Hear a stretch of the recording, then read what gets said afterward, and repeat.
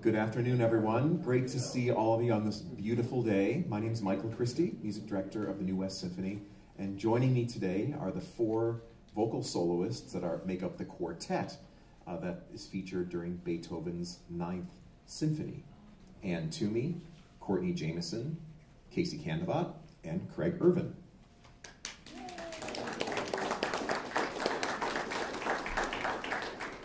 The program we're going to be presenting this weekend, both in Thousand Oaks and Camarillo, is about unity, and it's about the themes of sisterhood and brotherhood.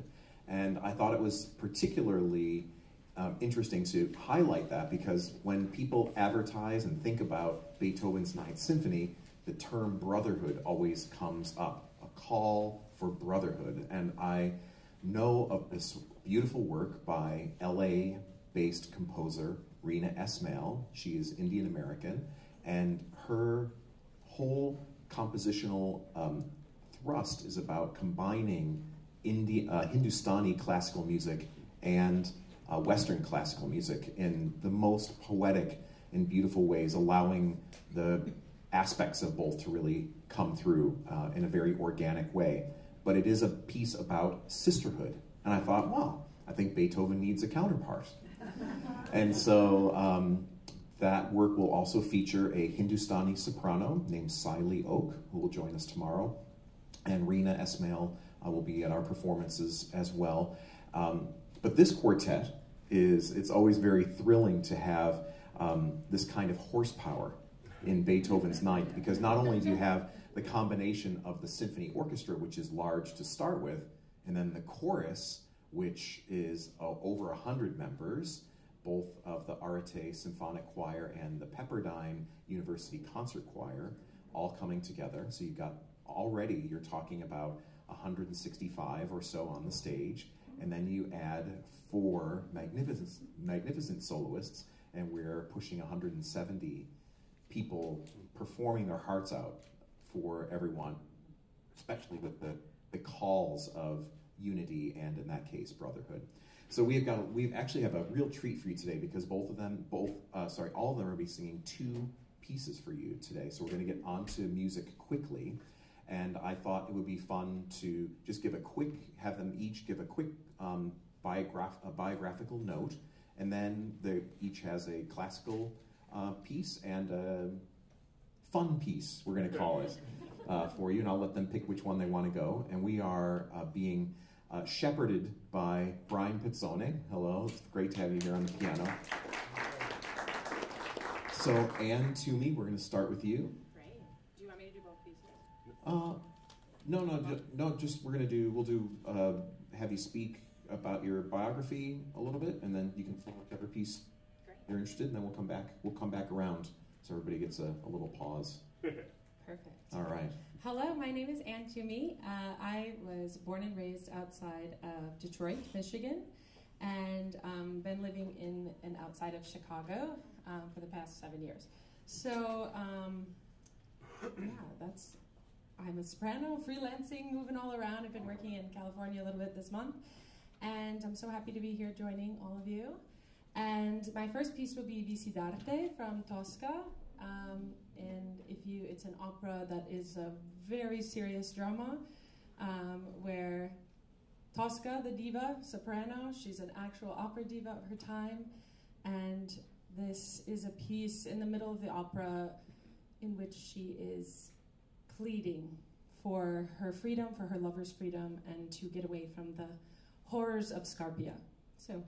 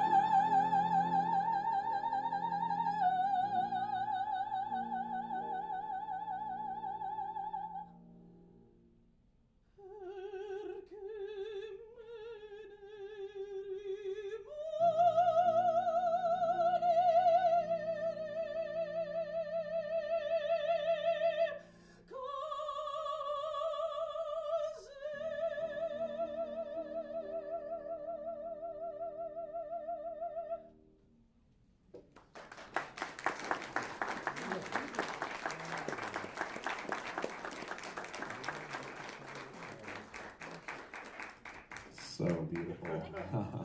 it's amazing with the Puccini aria that uh, basically a whole lifetime of experience and emotion gets wrapped up in just these moments. It's, it's really tremendous. Often people ask, I think, in, in situations where they're um, going to be singing in a concert environment, but are also singing and known for singing on stage, how you feel about the difference of having the orchestra behind you in a concert versus the orchestra in the pit. How does that how does that feel in terms of your experience on stage?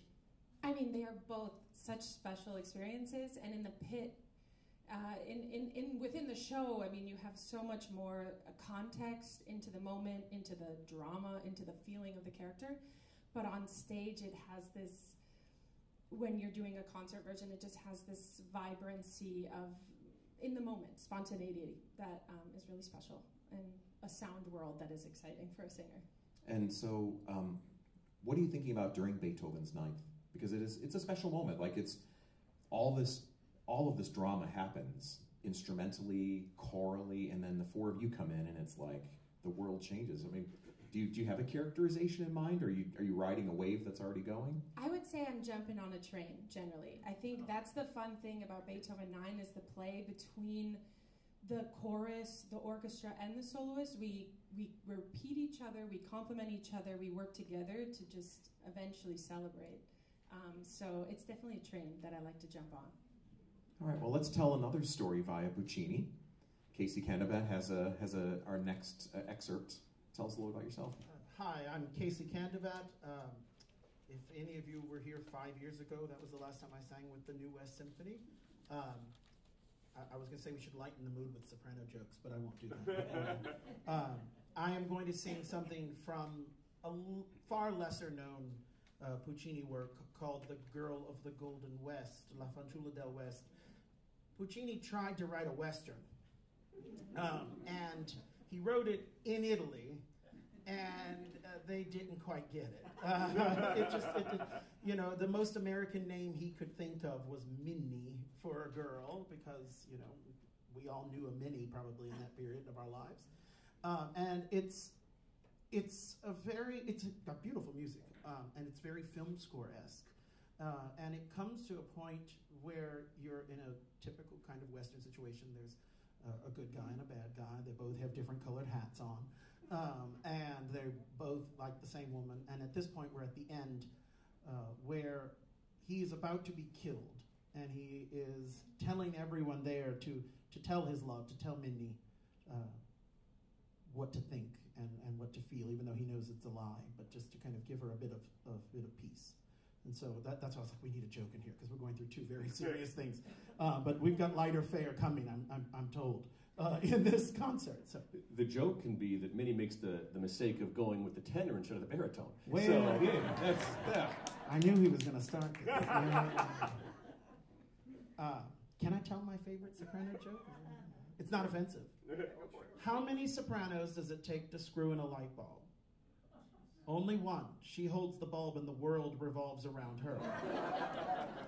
but how do you know when a tenor is knocking at your door?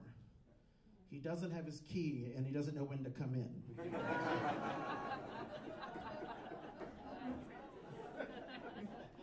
On that note.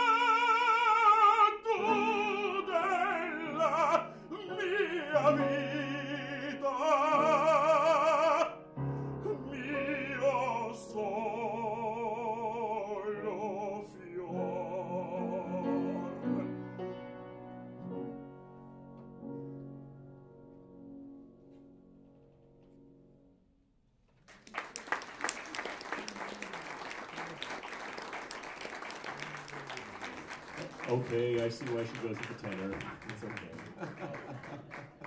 You know, one of the most special experiences I have as a conductor is that I get to be so close to the singers, whether we're in the concert environment or we're really actually huddled quite close to each other, but also uh, a place that no, not one person in the audience ever really gets to experience, which is the rehearsal room in an opera. And so usually the conductor is in the kind of the front of the room, in the middle, so you're kind of looking at the, what would be a simulated stage environment, and the pianist is beside you. But the singers are taking, are occupying the space of that rehearsal room as if they're on stage. And sometimes you get to hear these arias Spitting distance. And uh, it just reminded me, as, as I've been just listening to the two of you so far, like, like that I am only uh, seven or eight feet from that. But also made me think, just also kind of on a on a funny from a funny thought as well, that I would only ever make that much sound, maybe for a two or three seconds, yelling at my child not to touch something that's going to hurt them. Um, but the the idea of creating that kind of stream that fire hose of sound how does how do you kind of wrap your head around the physicality of pumping out that kind of musical energy would you say Well, I'm going to piggyback this to your question earlier. So I find it so much easier when the orchestra's on stage with you. Because if you do it correctly, it should feel like you're just kind of riding the wave of the orchestra. Um, I, I like to sing Wagner, and Wagner, I think, does that really well. That if it fits you, and sometimes it doesn't fit, there are some pieces that just don't fit as well as others. You know, these pieces we have to remember were written for particular singers, and that singer is long dead, and so now we are trying to do our best to sound like those people. Um, but if you sing something, I remember I, I was telling the story at lunch today when I did Verdi's Requiem here with the New West Symphony. It was the first time that I went, I could sing that three times a day for 10 weeks, and I would be able to do anything I wanted. It just felt so easy. So I knew that that was a good fit, and then you just ride that wave. so do you think in that particular case it just happened to be the key and therefore your voice kind of fits naturally in that part of the scale so to speak Yeah, I mean, it, it fit like a glove. It was well paced, you know, like, I mean, the tenor part in Beethoven's Ninth, the, all of Beethoven's Ninth for the singers. We sit for a very long time. Speaking of which, I hope we don't come out to the fourth movement. Because there's three whole movements before we even show up. Uh, We'll talk about that later. Um, but, you know, we sit, uh, Craig's been telling the story of after page 18, we don't sing again until page 55. And so, you know, sometimes you have to to pace yourself in these pieces. You know, the, the, I have seen operas where the singers don't do it so help, uh, you know, healthfully, and they sing too much in the beginning, and by the end of the opera, they are they are well beyond their reserve. And the, you know, you you should always sing. Uh, on your interest and never on your principle uh, is is what I was taught, and I, I think that's a that's a great way to think of it. Yeah, you know, I mean a little bit of a little bit of principle every once in a while. You can make it back. Yeah, you know, you can make that back while you're younger and do that, you know, do that just to, you know, that super special note, add a little bit of the principle in there. But if not, if you work on the interest, you'll have a long, healthy career and pace yourself even within the night in that same kind of framework. Did any of you have a point very early on where you made a sound and you thought, whoa, I can't believe that I can make that much sound? Even if you didn't think about it that way, but maybe you were singing in a, in a high school chorus or in university time where you just suddenly something kind of kicked in? So I would say that uh, when when I was really starting to study music in college, when I sang an E, when I was so there's a passaggi, which is the breaks in your voice. Kind of think of it as a, a three a three gear shifter, three on the tree car. Uh, you're you're in first gear, then you're in second gear, then you're in third gear. Um, once I really kind of learned how to switch gears right and and the note just hit, hit right in the pocket where it's supposed to be, the sensation of that is a fully different thing and a wonderful thing uh, that we then hopefully get used to. But the one thing they don't tell you, well, they tell us, but we don't listen when we're young singers, is, you know, they, they teach us how to shift that gear, to use your metaphor, but sometimes it's not ready to do that yet. Sure. You know, your voice is a muscle, it develops, it grows.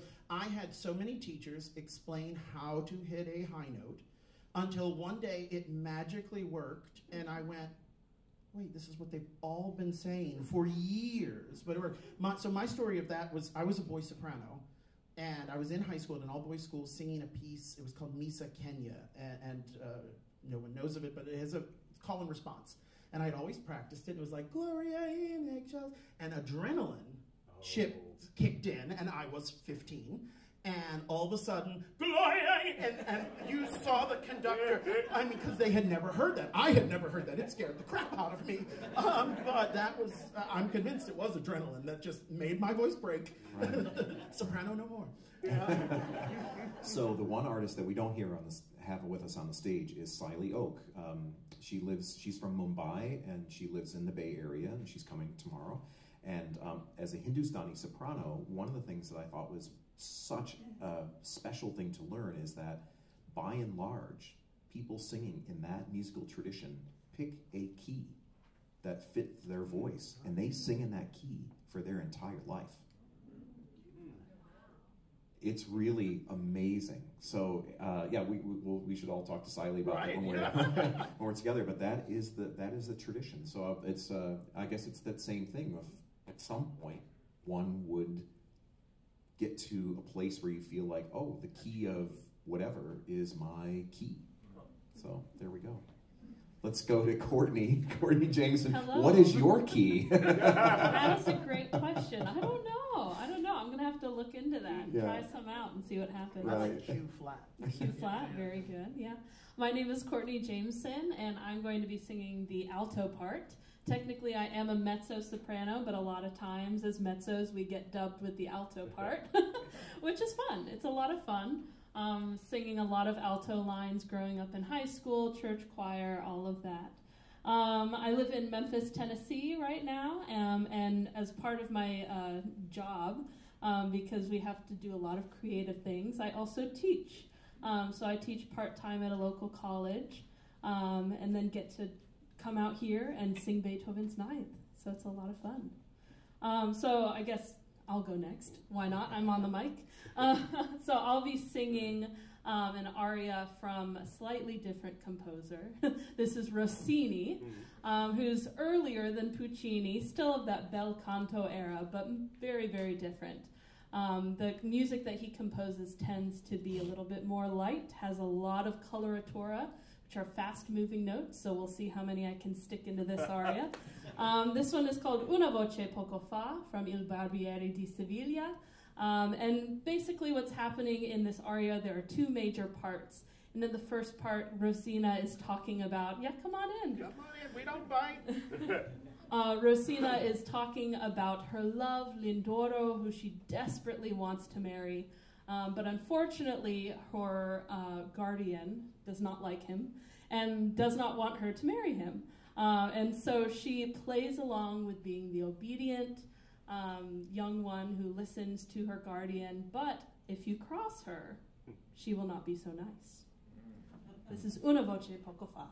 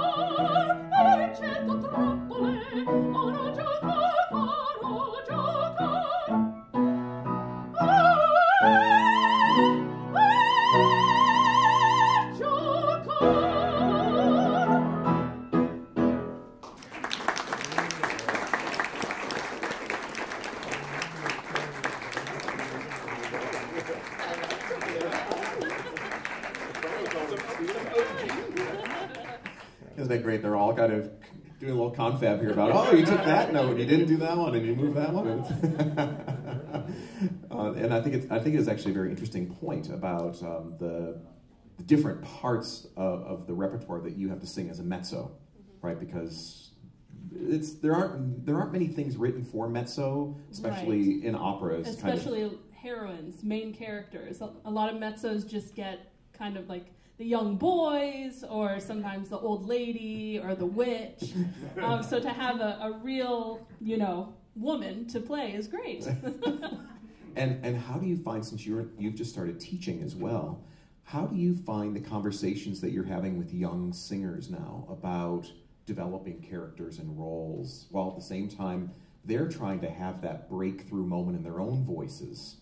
Right, Not, I'm, ta- I'm not talking about career breakthrough. I'm talking about like right, just technically the epiphanies that happen. Yeah, because especially working with undergraduates, it's interesting because the voice development really starts to happen in your 20s. So we have 18 year olds and 19 year olds who come in, and it's like, you just got to be patient. A lot of it, you know, learn the technique, keep growing in your art, and it will come, I promise you.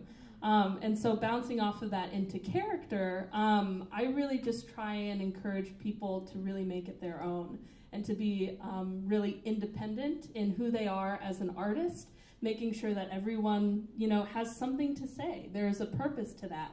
Um, that is something that, you know, I struggled with for a while, really finding that character and being committed to that rather than just listening to people around me of the way it should be. Yeah, I was thinking about the fact that we do have the benefit and the scourge of recordings.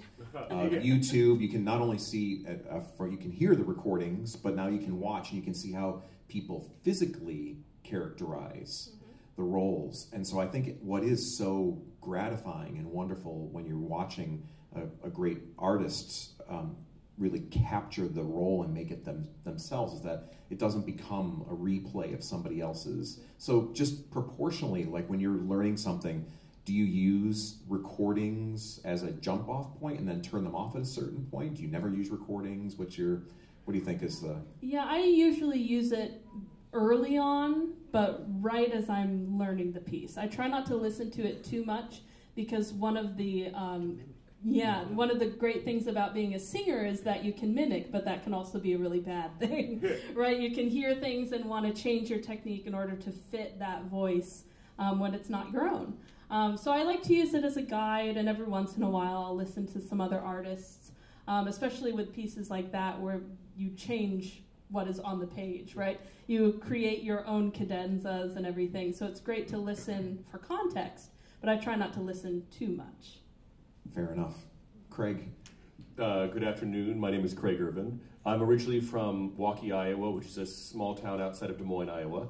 And I currently live in uh, Waukee, Iowa, which is a small town outside of Des Moines, Iowa, uh, but about two blocks away from where I lived when I grew up there. Um, it's, I like to say it's kind of like being a professional surfer and living in Iowa, because uh, there's not a lot of waves for me to catch in Iowa, but I'm surrounded by family, and that's a, a wonderful blessing, especially when I'm on the road six months, four to seven months a year is probably what we usually do when we're not in a global pandemic. Um, so it's that's fine. um, yeah. so it's don't say that. Um, so it's it's nice to get a chance to, to come here for the first time. I'm making my my debut with the company and my debut with the piece, so I'm very excited to be here. Uh, about my my piece, I'm the aria I'm singing is Si può from Pagliacci, and actually you'd think there's not a lot to explain because it's literally the first thing that happens, but you don't speak Italian, so let me tell you what he says. Uh, my character comes out and acknowledges the audience and says, Excuse me, everyone, I don't mean to interrupt, uh, but welcome, ladies and gentlemen. Let me introduce myself. I am the prologue. I have been sent out to tell you what our story is going to be about, like they used to in the old days. But it's very important, the composer has told me, that I tell you it's not like it was in the old days where the, the tears you see on stage are not real. Our, our composer wrote this piece because he feels that, that men, artists, are real people and they must act like real people. So, so what you'll see on the stage comes from a place in the composer's soul where he, he, he wept as he wrote this and pulled it from, from real life. So you're going to see uh, maniacal laughter. You're going to see the fruits from, from anger and jealousy. What you're about to see on stage is real, and you get to judge what it is. But when you judge, don't, don't look at our clothes and, and see what we wear and judge us by that. Judge us by the fact that we are men and women just like you, made of flesh who bleed and feel pain. And then the, the last line he says at the end of it is, Well, now that you know the story, andiamo, let's go start the show. So now that you know the story, let's start the show.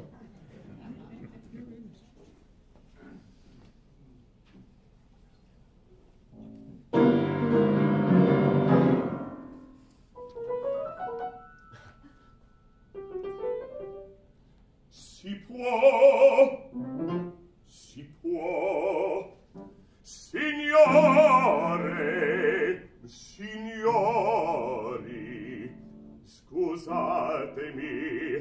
se da sol mi presento io sono il prologo. Poiché in scena ancor le antiche maschere mette l'autore in parte vuol riprendere le vecchie usanze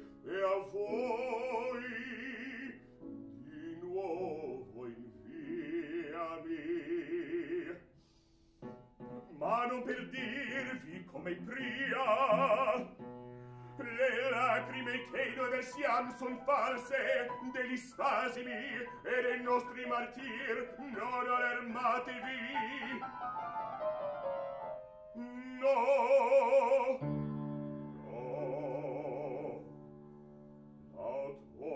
cercato invece pingervi uno squarcio di vita. Elia per massima sol che l'artista è un uom. E che per gli uomini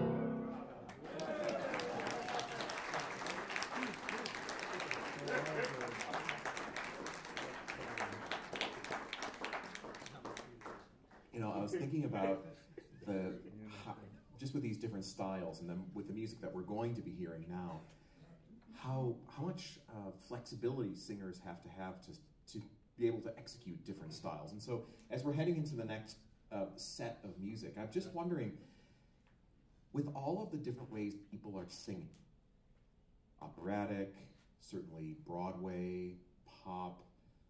I mean, how do you guys think about the way that you need to be able to sing in order to work in today's environment where there is so much different kinds of sound that people are making, if that makes sense? So I, I don't know how old any of us are up here, but I, I think some of us were around probably at the end of the.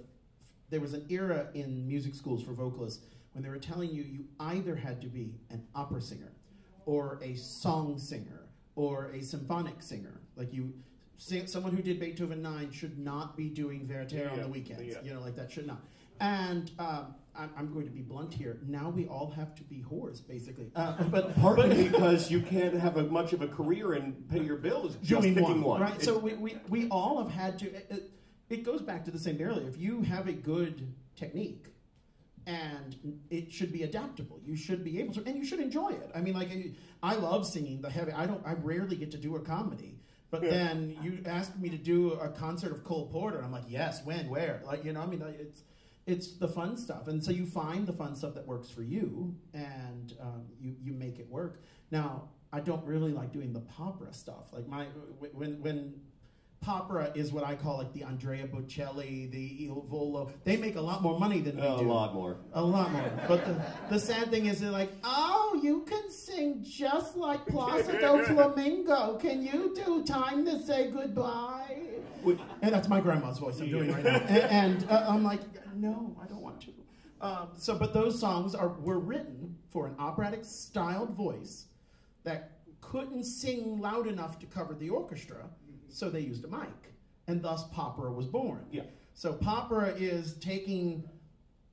Actually, you know, most of it I think is also symphonic works that they just add a vocal line to, which is great and fun. and they Um, don't always make sense with the words. No, not at all. Uh, at all. But it's, it's okay because it's still I enjoy singing that stuff. Oh. I, I I'm actually in a, in a crossover trio group. Uh, yeah, it's called the Serenade. uh, S E R E N A D three. Uh, it's a three at the end. It's a brilliant idea, but bad in practice. Um, but we like we did a, a whole Christmas album, which is spectacular, and I actually learned a lot about this stylistic choices from doing things like that. The crossover trio. Uh, I have that's an Il Divo cover show uh, type of thing I do. Um, Like who knows "Time to Say Goodbye" or um, or the prayer with Celine partirò. Dion. Like the, yeah, the prayer was probably one of the most famous Absolutely. early Would- yes, opera pieces. yes. But But I think people are um, they're. Ha- I mean, you have to like as a young as a young singer. I'm thinking Courtney that you're teaching these young singers who are um, who are confronting at age 18, age 19, age 20.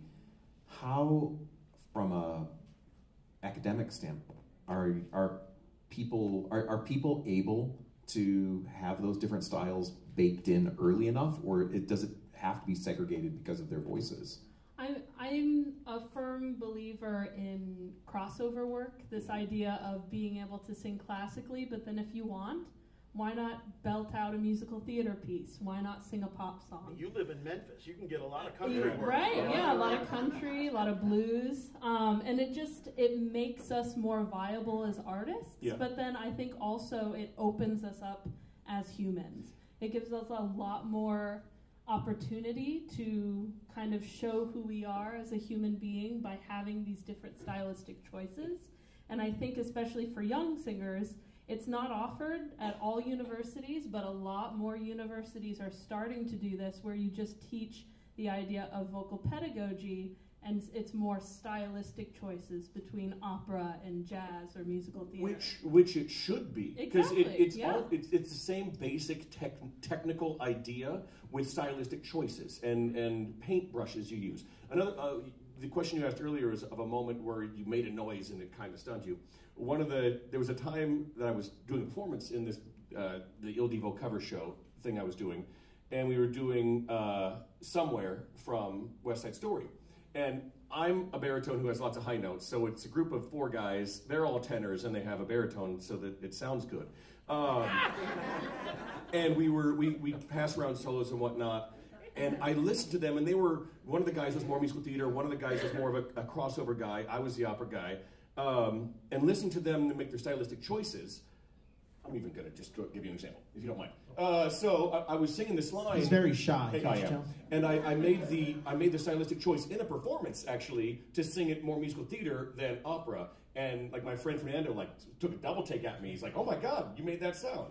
And doing those different things has taught me different colors that I can use. Just for example, I think it's uh, so um, the example from an operatic style of singing this line. Some yeah right. uh, Somehow, somewhere, we'll find a new way of living. That's that's an operatic, more stylistic choice. Now, musical theater. Oh, who wow! Yeah, I love it, yeah.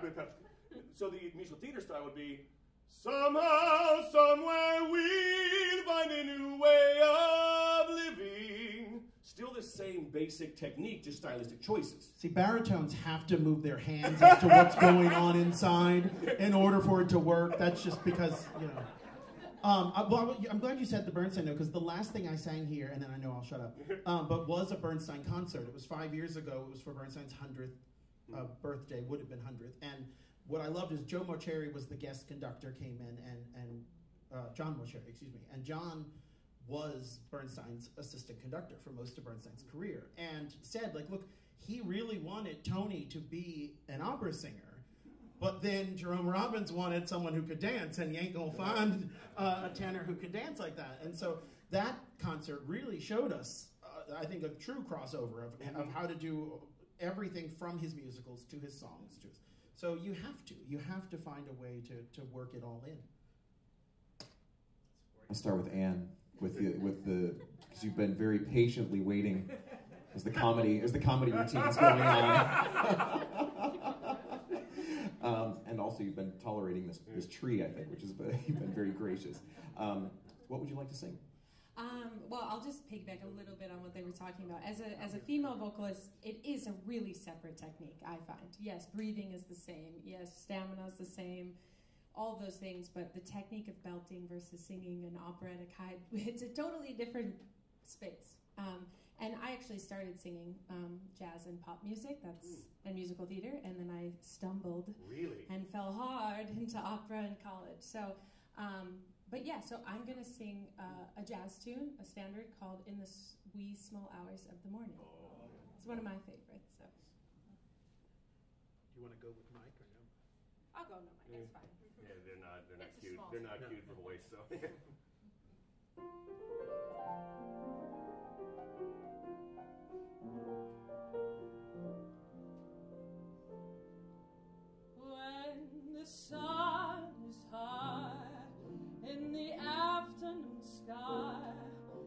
can always find something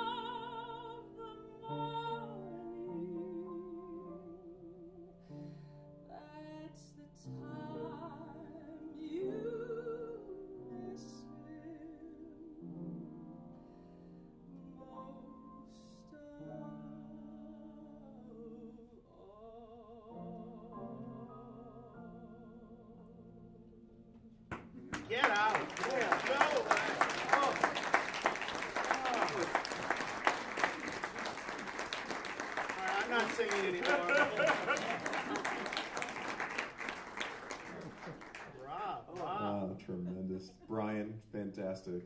So cool. It's- it's gorgeous. So, should we do gal guy, gal guy? maybe? Yeah, cute thing. You're- Why don't you do yours? Okay. Yours is more fitting to that one than mine is. Okay. Yeah. Uh, I, I, I picked one that I thought you might know from musical theater, uh, The Impossible Dream. Um, I don't. This is the opposite of my first one where it needed explaining. Nah, this one doesn't.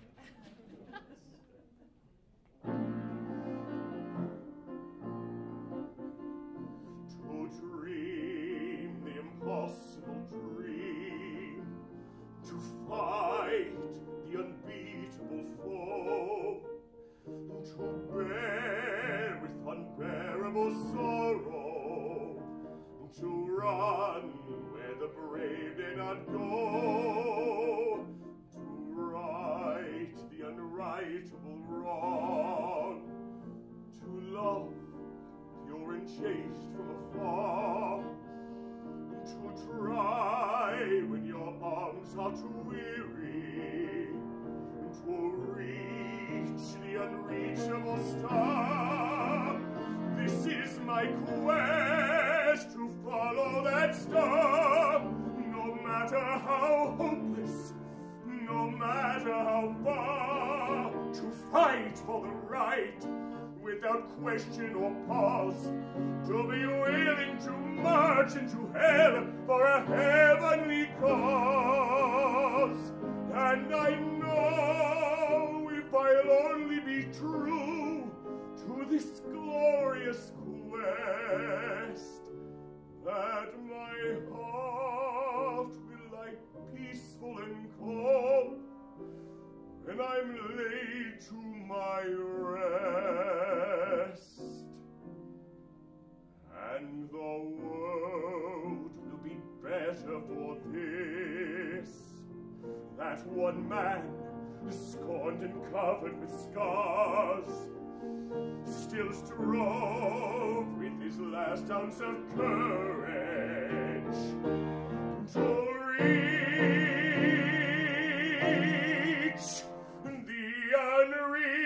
unreachable star.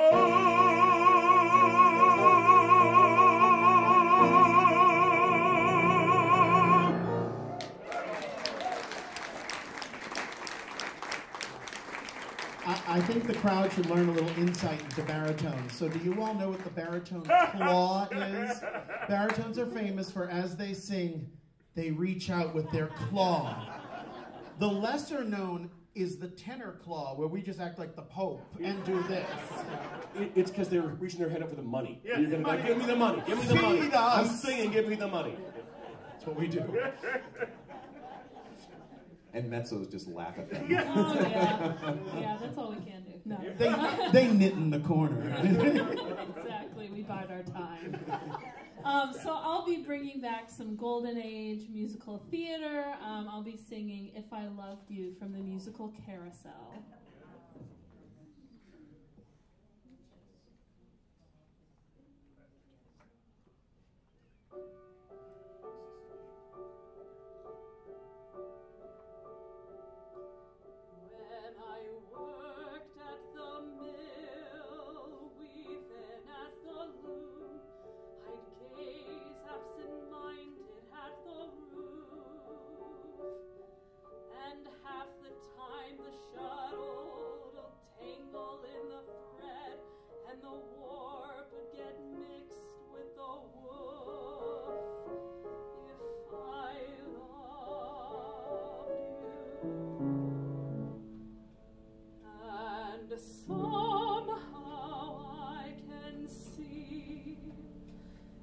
Just exactly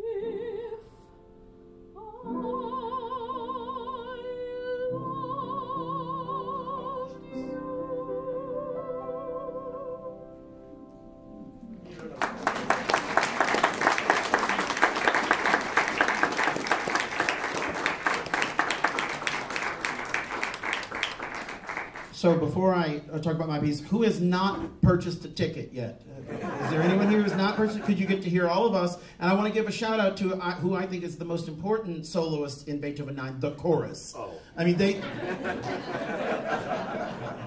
yeah, I see someone back there. Hello. Uh, and yeah, the chorus is they sing far more than we do, and they work they work their butts off. So they're, they're the most important soloists. But um, I'm going to sing a piece uh, that was made famous by someone that you're all too young to remember. His name was Mario Lanza.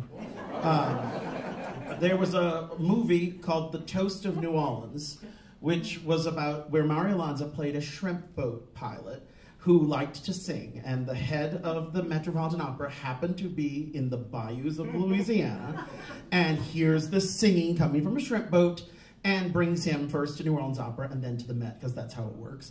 And um, the song was made famous by he and Kathryn Grayson, and it's called Be My Love. And I'll start it sitting down, why not?